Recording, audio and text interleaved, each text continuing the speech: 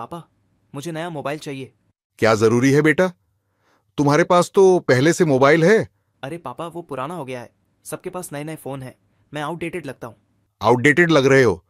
अब ऐसा कौन सा फ़ोन चाहिए तुम्हें? पापा वो वाला फ़ोन जो फोल्ड हो जाता है बहुत अच्छा लगता है। फोल्ड होने वाला फ़ोन? वैसे आजकल काम भी करते हो या सिर्फ़ फोल्ड एंड फोल्ड में व्यस्त हो? पापा ऐसा मत कहो। सभी दोस्तों के पास नया फ़ोन है। सिर्फ़ मैं ही। तुम्हें पता है बेटा जब मैं तुम्हारी उम्र का था तो फ़ोन सिर्फ़ बड़े लोगों के पास होता था। हम तो लैंडलाइन का इंतज़ार करते थे। हाँ हाँ पता है। आपके जमाने की बात और थी। आज कल सब कुछ डिजिटल हो गया है।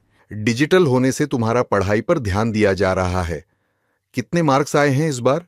पापा थोड़े कम थे पर मैं अगली परीक्षाओं में सुधार करूँगा। सुधार करूँगा? पहले फ़ोन का सुधार चाहिए या पढ़ाई का? दोनों का पापा। पर फ़ोन ज़रूरी है। उसके बिना स्टडी एप्स कैसे चलेंगे? स्टडी एप्स या तुम्हारी गर्लफ्रेंड से बात नहीं हो पा रही है?